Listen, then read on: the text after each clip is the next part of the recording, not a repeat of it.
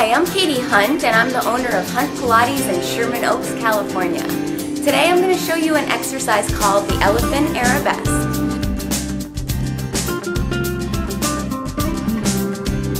The Elephant Arabesque is a more advanced exercise that focuses on your core, your quads, using your legs, your hips, stretching the leg up to the ceiling, arms, pushing with the arms, lats, lot of different muscles. It's a total body exercise.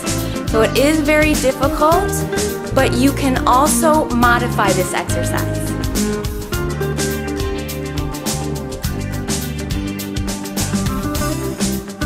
This is Katie Hunt from Hunt Pilates. Thanks for watching. And don't forget, stay strong.